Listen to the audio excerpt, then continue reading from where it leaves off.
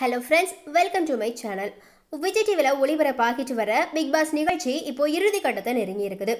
ஆரி பாலா ரியோ சோம் கேபி ரம்யா இவங்க எல்லாருமே இறுதி போட்டிக்கு தகுதி பெற்றுள்ள நிலையில் ஏற்கனவே பிக் பாஸ் வீட்டில் கலந்துக்கிட்டு வெளியேறின நம்மளுடைய முன்னாள் போட்டியாளர்கள் எல்லாருமே பிக் பாஸ் வீட்டுக்குள்ளே ரீஎன்ட்ரி கொடுத்தவனும் இருக்கிறாங்க.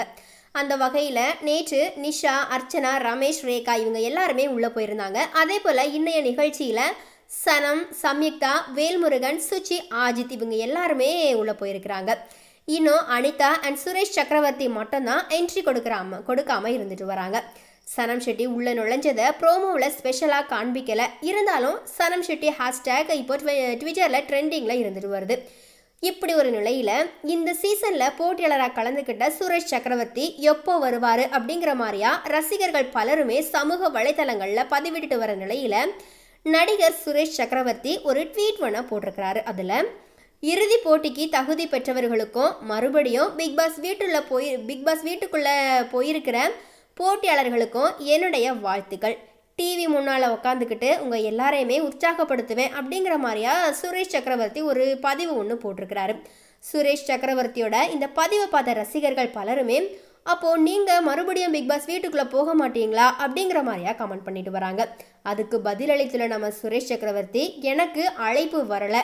அப்படின்னா அழைக்காத இடத்துக்கு நான் எப்படி வர முடியும்? ஒரு வேளை நான் தகுதியற்ற போட்டியாளரோ என்னவோ? அப்படிங்கிற மாதிரியா ரொம்பவே வருத்தத்தோட பதிவிட்டிருக்கிறாரு. சுரேஷ் சக்கரவர்த்தியோட இந்த பதிவில் அவ அவ் சுரேஷோட ரசிகர்கள் பலருமே விஜய் டிவியை திட்டி தீர்த்துட்டு வராங்க. அதுக்கு தொடர்ந்து பதிலளித்த நம்ம சுரேஷ் சக்கரவர்த்தி இதுக்கு சேனல் காரணம் இல்லை. ஆனால் ஒரு லேடியோட வேலை தான் அப்படின்னு நான் நினைக்கிறேன் அப்படின்னு சொல்லியிருக்கிறாரு சுரேஷ்.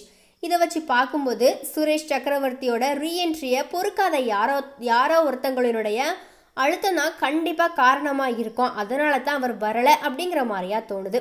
அதுக்கு யார் காரணம் அப்படிங்கிறத இந்நேரம் நம்மளுடைய சமூக வலைத்தளவாசிகள் கண்டுபிடிச்சிருப்பாங்க. அப்படி கண்டுபிடிச்சிருந்தாங்க அப்படின்னா கமெண்ட் பண்ணு கமெண்ட் பண்ணுங்க அப்படிங்கிற மாதிரியா நிறைய கமெண்ட்ஸ் நம்ம சுரேஷோட கமெண்ட்க்கு கீழே வந்துட்டு இருக்குது ஆனால் கண்டிப்பாக அது சனம் ஷெட்டி கிடையாது அப்படிங்கிறதையும் நம்ம சமூக வலைத்தளவாசிகள் கண்டுபிடிச்சிருக்கிறாங்க.